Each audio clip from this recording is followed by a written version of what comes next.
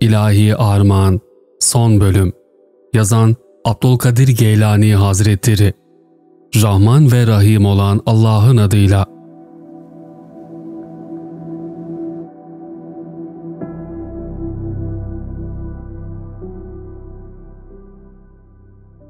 Allah'ım biz senin ziyaretçileriniz, sana yöneldik.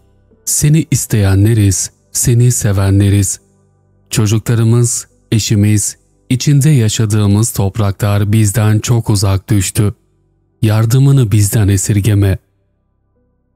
Allah'tan başkasıyla meşgul olmak yorgunluktur. Nefisle meşgul olmak masiyettir. İnsanlarla uğraşmaksa hakkın kapısından ayrılmaktır. Allah'ın öyle seçkin kulları vardır ki, seçkin kullarından çok azı melekleri görür. Salih bir kimse açken Şam camiinde oturmuş ve içinden keşke Allah'ın ismi azamını, en büyük ismini bilseydim demiş.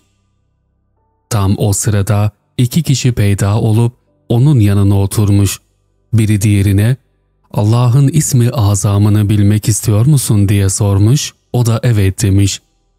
O zaman Allah de demiş. O zaman salih kimse içinden ben de öyle söylüyorum demiş. Bunun üzerine iki kişiden biri öyle değil. Kalbinde hiçbir şey olmadan Allah demeni istiyoruz demiş. Sonra da onun gözü önünde gökyüzüne doğru yükselip gitmiş. Dışını insanlara, kalbini ahirete ayır. Sırrını da dünyaya ve ahiretten çıkartarak Allah'la beraber tut. Aksi halde selamete eremezsin. Çöllere ve kırlara kaç. İmanı çöllerde, kırlarda, tenha yerlerde arayıp kazan. Sonra insanların içine gir. İnsanlara doğru yola çıkmadan önce halvetinde arkadaşlık edeceğin birini bul. Onlar başkalarından alırlar, dağıtırlar, taksim ederler. Onlar manayla birlikte dururlar. Senden alarak sana sadaka vermiş olurlar. Mürit Allah'tan alır, Arif ise insanlardan. Arif insanlardan alır çünkü Allah'ın sözcüsü işçisidir. İnsanlardan kendi için değil, başkaları için alır.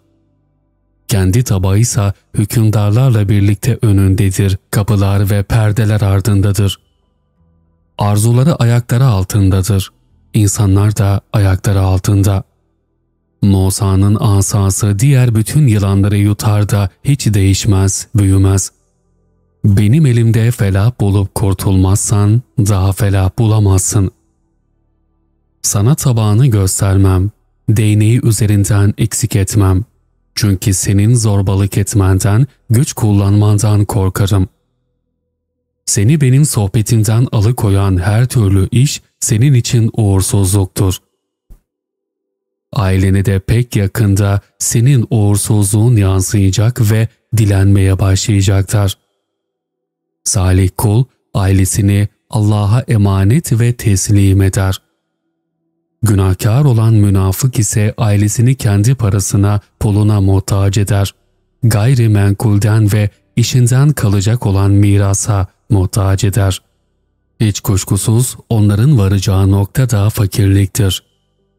Sen cahilsin, boz etmişsin, uzaklaştırılmışsın, melunsun. Kalbine dünya buzağısının sevgisi yerleştirilmiş.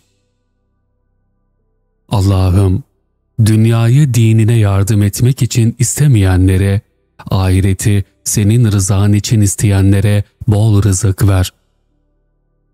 Ahireti gösteriş için isteyenlere rızık verme. Dünyayı dünyalık için isteyenlere de rızık verme. Çünkü dünya ve ahiret senden alıkoyan birer perdedir. Keşke onlardan biri felah bulacak olsa biz de onun eteğine yapışırdık. Yarın bana salih bir kimsen gelince ona derim ki, yarın senin hiçbir şeyin olursa biz de seninle birlikte oluruz ve senin davetine uyarız. Bizim bir şeyimiz olursa ondan sana da bir pay veririz. Sözümü herhangi bir amaç için deyin, içtenlikle kabul edin. Böyle yaparsanız kurtulursunuz. Benim dediğim doğruysa ben de siz de kurtulursunuz. Hakikat benim söylediğimin tersine ise o zaman siz kurtulursunuz, ben kaybederim. Halk üç türlüdür. İnsanlar, şeytanlar ve melekler. Melekler bütünüyle iyilik sahibidir, şeytan bütünüyle kötülük sahibi. İnsansa iyilik ve kötülüğün karışımı. İyilik baskınsa hükümdara ulaşır, kötülük baskınsa şeytana ulaşır. Ey evlat! İslam ağlıyor ve eli başında yardım istiyor. O günahkarlardan, fasıklardan, bidat ve delalet sahiplerinden, zalimlerden, yalancılık giysisini kuşananlardan, içinde olmayan şeyi iddia edenlerden kurtulmak için yardım istiyor. Senden öncekilere ve seninle birlikte olanlara emrederken, yasaklardan yerken ve içerken bir bak. Onlar hiç olmamış gibiler. Kalbin ne kadar katı. Köpek sahibine avında, ikininde ve besi hayvanlarında yardım eder, onları bekler.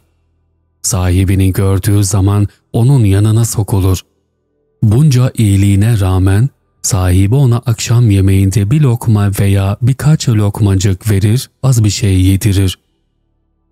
Sense Allah'ın nimetlerinin doyasıya yiyorsun ama onun istediğini vermiyorsun, hakkını ödemiyorsun, emirlerine karşı geliyorsun, sınırlarını korumuyorsun. Ey evlat! Fakirliğe, sabra ve selamete hiçbir şeyi denk tutma. Fakirliğinde ihtiyacını Allah'a arz et. Çünkü zengin azar ve Rabbini unutur. Dünya hayatını tercih eder, hevasını Allah'ın emrine tercih eder. Nefsini ve doğasını Allah'ın emrinden üstün tutar. Yiyip içmeyi, oruç tutmaya tercih eder. Helali bırakıp harama alır.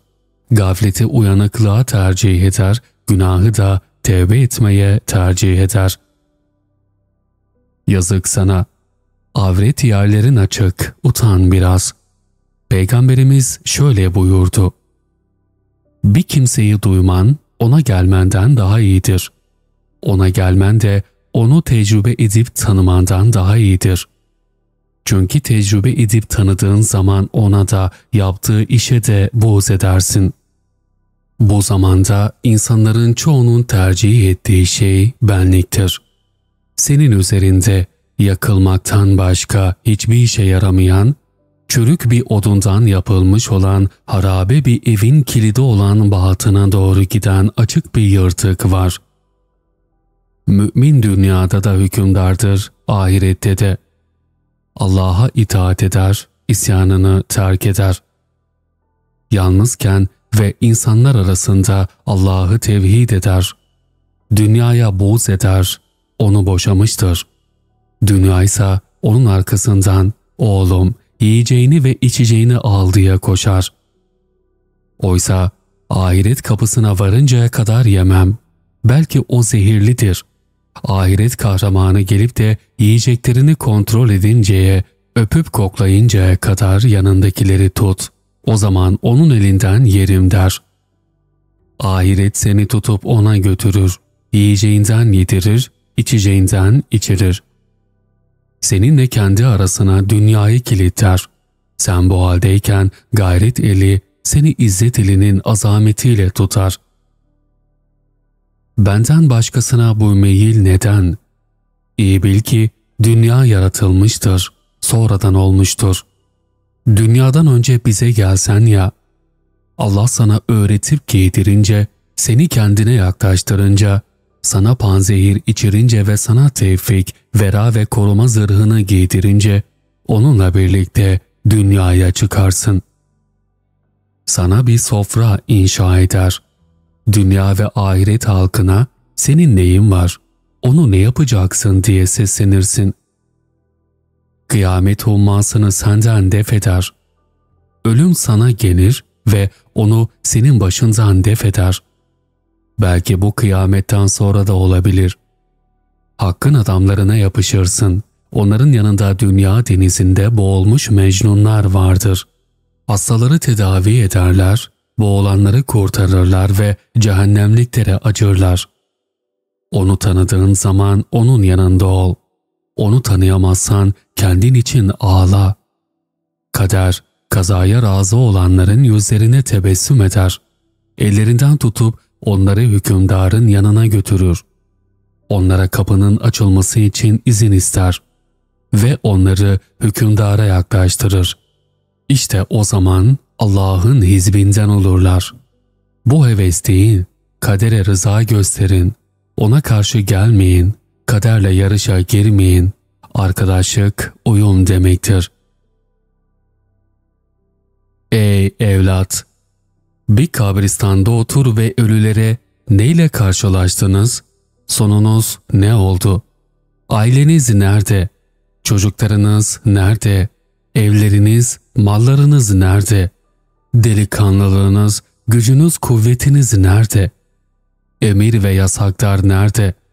Alışveriş nerede? Sevilen şeyler, arzular, hayaller, umutlar nerede diye seslen. Onlar sana sanki şöyle derler. Geride bıraktığımız şeylere çok pişman olduk. Ahirete gönderdiğimiz şeylerle sevindik. Yanında arkadaşın olmayıp kabristanda da kimsecikler bulunmadığı zaman böyle yap. Akıllı ol. Hepiniz pek yakında öleceksiniz. Ey evlat! Allah'ı tanıyın. Onun cahili kesinlikle olmayın. Ona itaat edin, isyan etmeyin. Onun yaptıklarına rıza gösterin, baş kaldırmayın. Kazasına razı olun, şikayetçi olmayın. Allah'ı ortaya koyduğu eserleriyle tanıyın. O yaratandır, rızık verendir. İlktir, sondur, zahirdir, batındır. O evveli olmayan ilk kadim, sonu olmayan daimdir. O istediğini yapandır. Yaptığı şeylerden sorguya çekilmez. İnsanlarsa sorgulanacaktır. Zenginliği, fakirliği, faydayı, hayatı, ölümü ve cezayı veren, korkulan ve umulan da O'dur. Başkalarından değil, sadece O'ndan korkun. Başkalarından değil, yalnız O'ndan bekleyin. Kudret hikmete üstün gelinceye kadar O'nun kudreti ve hikmetiyle yaşayın. Ey evlat! Bütün işinizde Resulullah'ın huzurundaymış gibi olun ve hükümdar sizi çağırıncaya kadar onun emir ve yasakları altında ve ona tabi olma yolunda kuşaklarınızı bağlayın. Hükümdar sizi huzuruna çağırdığında da Resulullah'tan izin isteyip huzura girin. Sufilerden bir gruba ebdallar denmiş. Çünkü onlar Allah'ın iradesi yanında başka bir irade istemezler. Onlar açık hükümlerle hükmeder, açık ameller yapar, sonra da sırf kendilerine ait olan amellerle baş başa kalırlar. Dereceleri ve makamları yükseldikçe emir ve yasakları da artırılır. Bu hal emir ve yasakların bulunmadığı bir makama yükselinceye kadar sürer gider. Bu makamda dinin emirleri onlarda artık kendiliğinden gerçekleşir ve onların doğal bir davranışı olarak kabul edilir. Onlar Allah'ın yanında kendilerini kaybetmiştir. Onlar ancak emir ve yasaklar geldiği zaman kendilerine gelir. Allah'ın emir ve yasaklarını ise hep korur ve dinin sınırlarından dışarı hiç çıkmazlar. Çünkü farz ibadetleri terk etmek zındıklıktır. Harama girmekse isyandır. Farzlar hiç kimseden hiçbir zaman düşmez. Ey evlat! Onun hükmü ve ilmiyle amel et. Yoldan çıkma. Verdiğin sözü unutma. Nefsinle, şeytanınla, tabiatınla ve dünyayla mücadele et. Allah'ın yardımından ümidini kesme. Allah'ın yardımı sana sabır ve sebat göstermen durumunda gelecektir. Allah Celle Celaluhu, Allah sabredenlerle beraberdir. Allah'ın taraftarlarıdır üstün gelecek olan.'' ve yolumuzda çaba gösterenlere yollarımızın gösteririz buyuruyor. İnsanlara bir konuda şikayet ileteceğin zaman nefsinin dilini tut. Ona ve bütün insanlara karşı Allah adına hasım ol. Onlara Allah'a itaat etmelerini emret. Ona karşı bir suç işlemekten sakındır.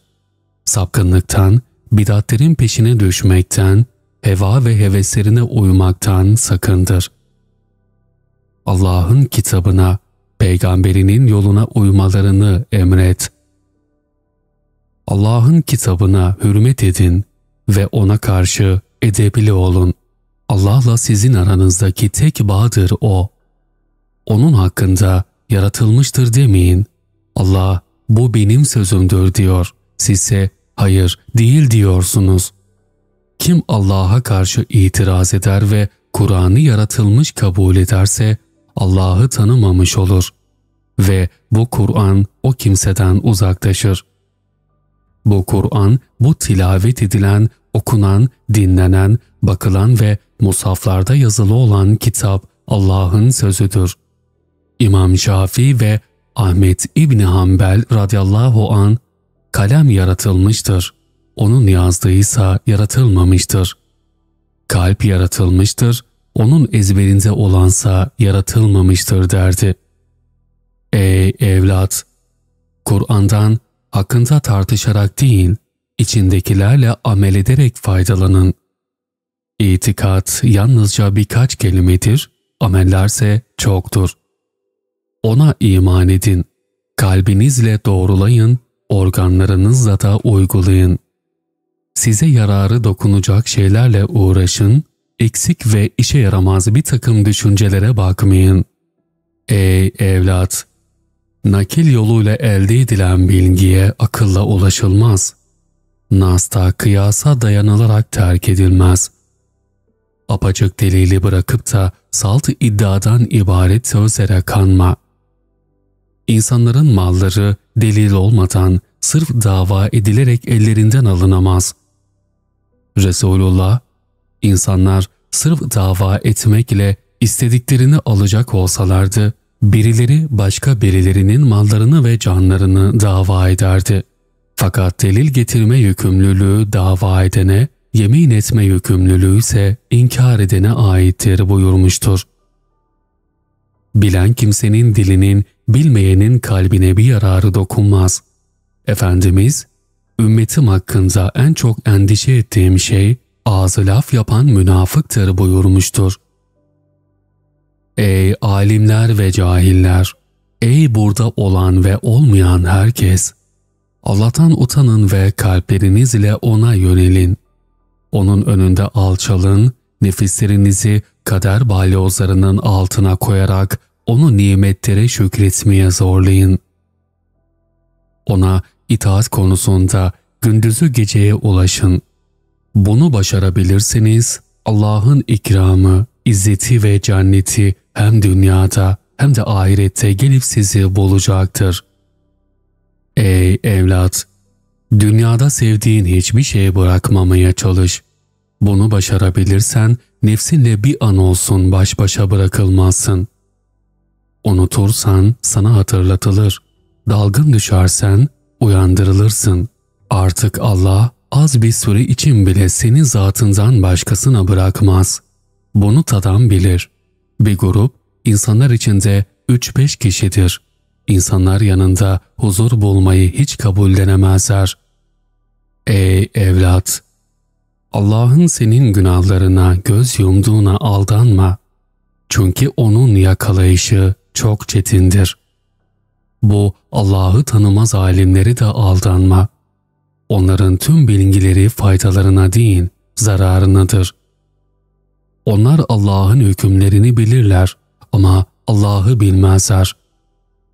İnsanlara onun buyruklarını inetirler ama kendileri uymazlar. İnsanlara yasaklar koyarlar ama koydukları yasakları kendileri çiğnerler. İnsanları Allah'a çağırırlar ama kendileri kaçarlar.